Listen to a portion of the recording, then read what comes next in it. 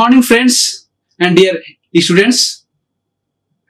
I feel immense pleasure to be here for my course Flight Mechanics.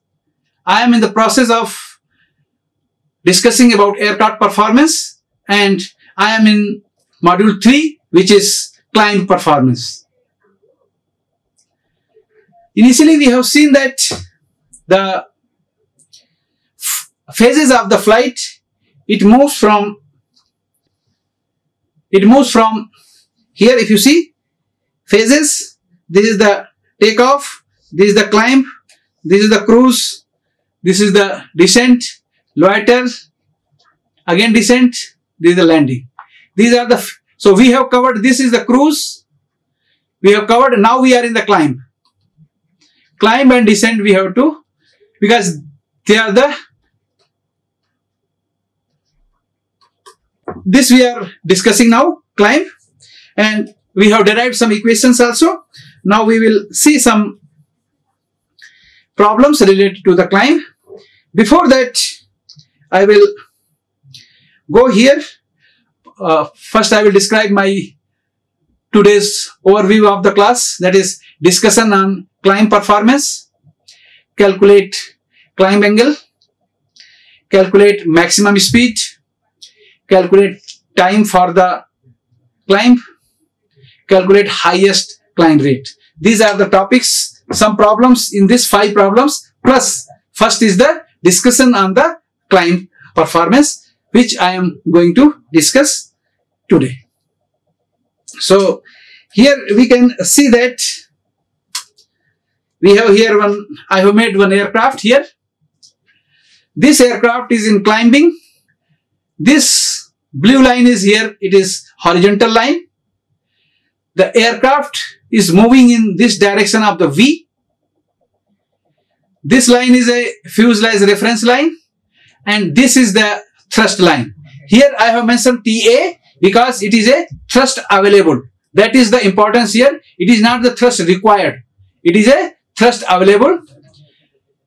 If you see the lift is produced on the perpendicular to this V, the direction of the flight, and drag is in the same direction of the V in opposite. In the parallel but opposite to the motion of the aircraft. Weight will always act perpendicular. Uh, it will always act towards the uh, earth. It will make from here to here it is a, a gamma angle. It is a flight path angle.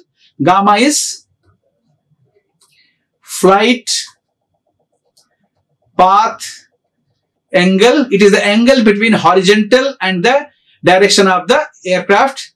Then we have between V and the FRL, we have the alpha. Alpha is called the angle of attack. The angle between relative speed of the aircraft with the FRL, it is angle of attack. And there is one more angle, it is alpha T. It is the angle between thrust TA and FRL. This is the angle between here. From here to here. This you can see just i am drawing here. This is the alpha t this is the alpha. Angle of attack. So this we have to understand first. Then i will go further.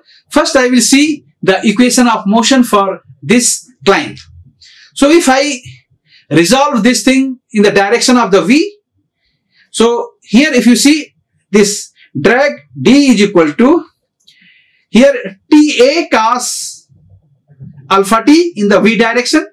This is the force of this TA, TA cos alpha t. So it is equal TA cos alpha t, TA cos alpha t.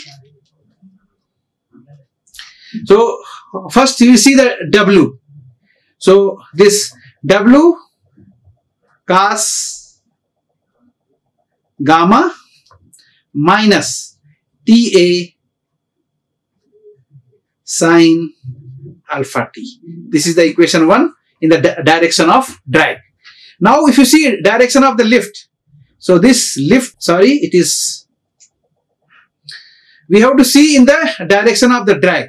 So this is the drag is equal to Ta cos alpha t, this plus this W is in this direction. W sine gamma. So here you will have TA cos alpha t minus W sine gamma. This is here in this direction you will have W sine gamma plus D. Okay. So if you go in another side you, you will get and this is the equation 1. If you, if you see the lift so lift is equal to this is the W cos gamma. So lift is equal to W cos of gamma minus TA sine alpha t is equal to this is the second equation. So for the steady state for the steady state condition this d steady state will be t into cos alpha t means it is a thrust required. So we can write that now that if you see here this is the velocity v of this and if you take this is the horizontal component and this is the vertical component. This vertical component is known as a vc climb velocity. So climb velocity or it is also called rate of climb. That is vc is equal if this is the gamma vc is equal to v sine gamma. So this vc is equal to v sine gamma and this is the rate of climb. So now if we put in this equation number 1 the value of gamma so from equation 1 so here VC climb speed V sine gamma. So now this VC is equal to V into sine gamma from equation 1. So what we will get? From equation 1, from here sine gamma is equal to Ta cos of alpha t minus d divided by w. So this value I have to put here. So Ta cos alpha t minus d divided by w. So for a small angle, for a small uh, alpha t, if you take it is a 0, so cos alpha t is equal to 1. So you can write here V Ta minus d divided by w. Okay. So we this we can write here as a ta into v plus minus d into v divided by w. This tav is a power available minus power required divided by w. This we can write as a power excess divided by w so excess power divided by w so this is the rate of climb and from here we can get the climb angle. So this we have to see here that now if you see about the power required. So this power required PR we have already this derived that this PR is equal to CD naught rho V cube divided by 2 W by S plus CD naught L into V plus 2 W by S pi E aspect ratio rho into V into W. This is the equation for power required. And if you see the plot for different, this is the power available and this is the velocity. So your power will be depend upon the different throttle condition. Okay, so here if you see we have different throttle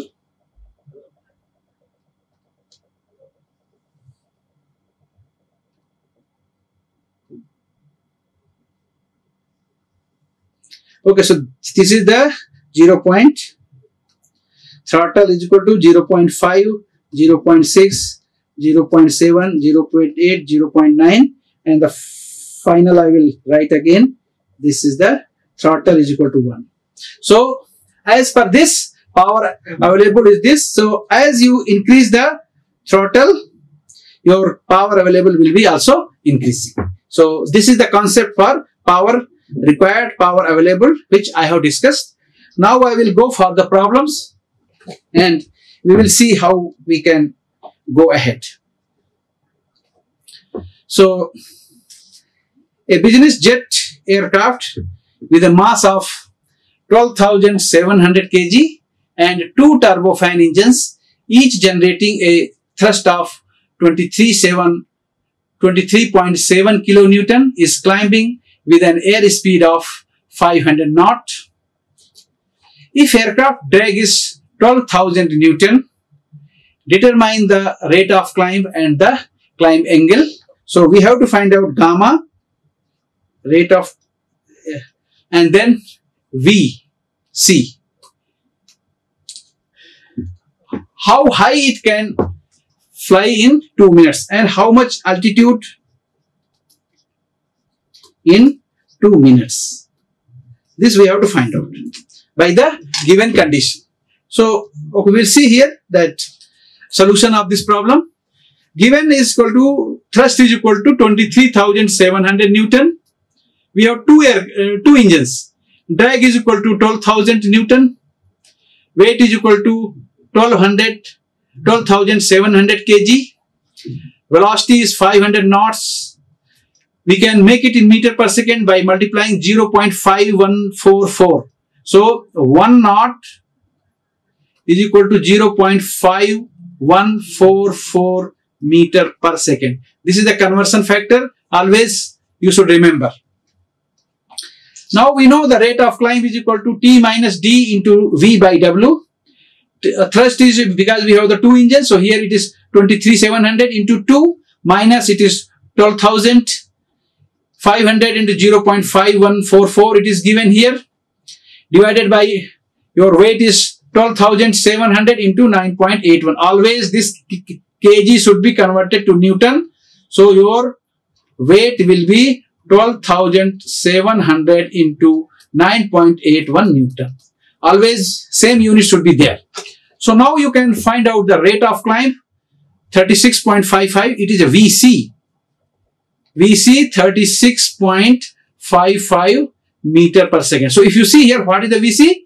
This is the V and this is the horizontal velocity and this is the vertical velocity. This is the VC. We have got the vertical 36.55 meter per second. This we got. Now we have to find out the climb angle and we know that rate of climb is equal to V sine gamma. So sine, gamma is equal to sine inverse rate of climb divided by V. So here we have got the rate of climb here 36.55. So ROC is equal to V sine gamma. So gamma is equal to sine inverse rate of climb by V. Sine inverse 36.55 divided by 250 into 0.5144. So this gamma is equal to 0.288 radian or 16.5 degree. Because 1 radian is equal to 57.3 degree. 1 radian is equal to 180 by pi. You just convert using this technique. So we can find out that now height, how much height. So we, we know that V is equal to h by t. So h is equal to v into t. So here vc, vc into t. So h is equal to rate of climb vc into t. 2 sec 2 minutes. So 2 into second 36.55 it is vc. 2 minute into second. So you will get 4386.7 meter or 43 14,392 feet. So the aircraft will climb 4,387 meter or 14,392 feet in one minute. So this is our answer. Here we will see some variation of climb angle and the rate of climb versus altitude. The plots are here. So here we have the altitude and this is the vertical line is altitude line and the horizontal is the rate of climb feet per minute. Here it is mentioned. So first one is the absolute ceiling. This is the absolute ceiling. It is that height at which the ROC is zero. That is called absolute ceiling. This point. Another point is the service ceiling. This is the service ceiling. Okay, this height I am writing S here. This is the A and this is the C. So, service ceiling service ceiling is the that height at which rate of climb is 100 feet per per minute. This is the definition of the uh, service ceiling. Your aircraft in this can go up to this height where it can maintain 100 feet per minute climb. But at absolute ceiling, there is no rate of climb. Another ceiling is known as a cruise ceiling. Cruise ceiling. This is the ceiling at which the at which the rate of climb is 300 feet per minute. So it is 2.5 meter per second. This is the 1.5 meter per second. No sorry. This is a 0.5 meter and this is a 1.5 meter per second. So this is called the service ceiling this is called the uh, cruise ceiling so here we can see that this is the absolute ceiling where ROC is 0 now we will see the next problem the aircraft A is climbing with a speed of 200 knot and climb angle is 15 degree. So the velocity of A aircraft, I am writing VA 200 knot and gamma A is equal to 15 degree. The aircraft VB, another aircraft B is, speed is VB is 100 knot and climb angle gamma B is 30 degree. So we have to find out the determine which aircraft has the highest rate of climb. So ROC we have to find out. Then determine the time to climb 10,000 feet altitude of an aircraft A and B. So how much time it is required to climb? H is given. Ignore the variation of engine thrust with altitude. So it is very simple. We have to just use the equation for rate of climb and we know that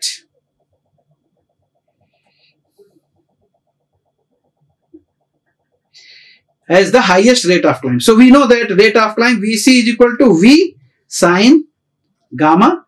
So for A aircraft we will write the VA. So just we will see here. So the rate of climb ROCA is equal to V sine gamma.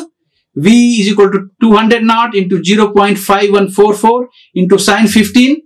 So we will get here 26.63 meter per second. That is 5242 feet per minute. For the B aircraft, rate of climb of B is equal to V sine gamma. V is equal to 100, 0.5144 into sine 30, 25.72 meter per second, 5063.4 feet per minute. Thus, the rate of climb of aircraft A is higher than the rate of climb of aircraft B. So, if you see here, it is 26.63, 25.72. So, aircraft a has more ROC than aircraft B. So that is the, now we have to find out how much time it is taking. So we know that VC is equal to H by T. So T is equal to H by VC. Here H is given 10,000 feet VC we have find out this feet. So 10,000 by 5242, 1.908 minute. And for the aircraft B, this is for aircraft A, it is 1.975 minute. So aircraft aircraft A has is taking is taking lesser time lesser time than aircraft B. So this is the one conclusion which we can draw from this problem. Now we will see the problem number 3.3. So here we have this problem that is 3.3. Aircraft A is climbing with a speed of 180 knot and rate of climb is 2600 feet per minute. Aircraft B is climbing with a speed of 150 knot and rate of climb is 300 feet per minute. Which aircraft has the highest climb rate? Same way, we have to find out VC. So we know that VC is equal to V into sine gamma. V is here 180 knot into 0.5144 into sine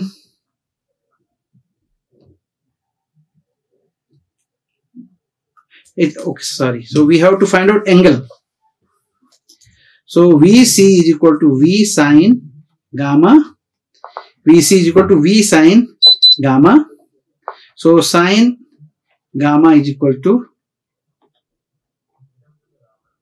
vc is given 2600 feet per minute and v is equal to 180 knot okay so this we have to convert. So sine gamma is equal to Vc by V. This we have to find out and let's see how we can go about that. So the climb angle is obtained by using the following equation. Rate of climb is equal to V sine gamma. So this gamma A is equal to sine inverse rate of climb by V. Sine inverse rate of climb is 2600 divided by 180 into 0.5144 into 196.85 that is gamma A is equal to 8.2 degree. Now for the aircraft B, this is for aircraft A, rate of climb is equal to V sine gamma. So YB is equal to sine inverse.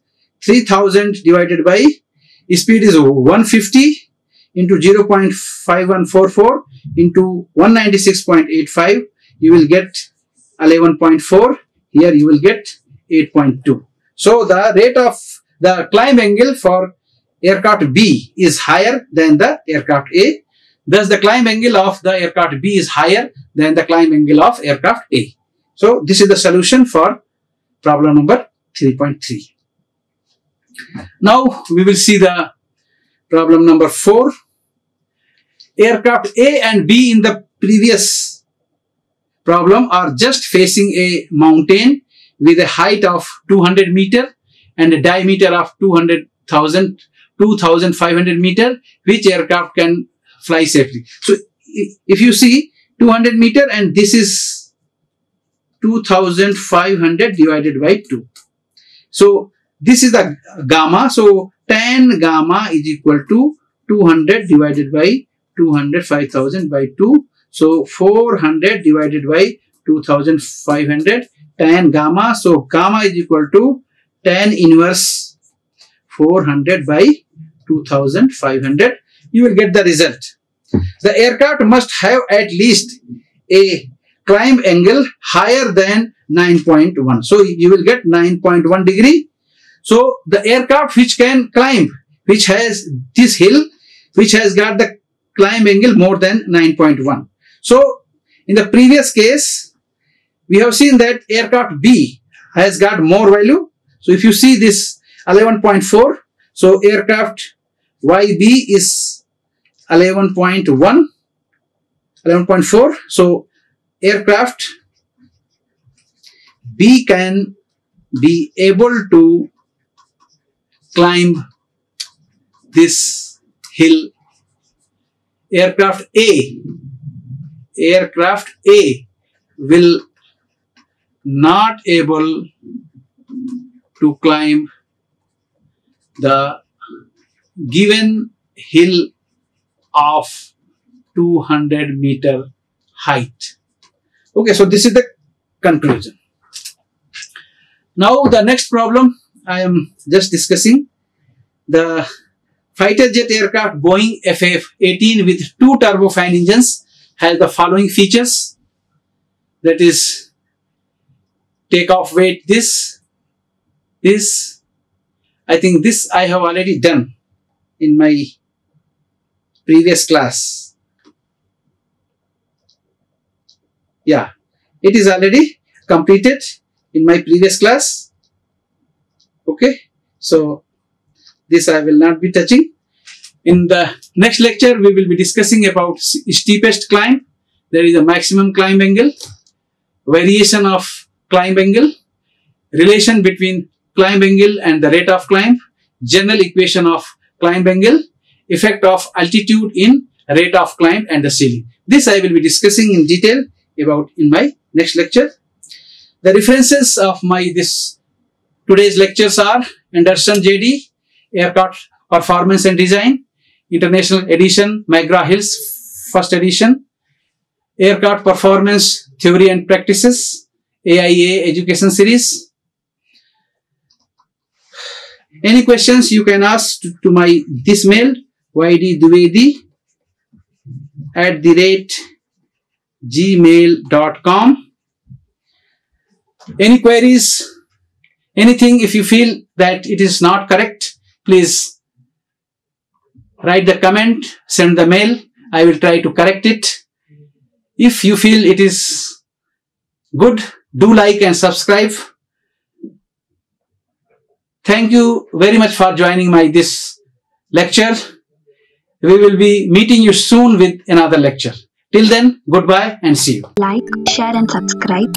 Hit the bell icon for more updates.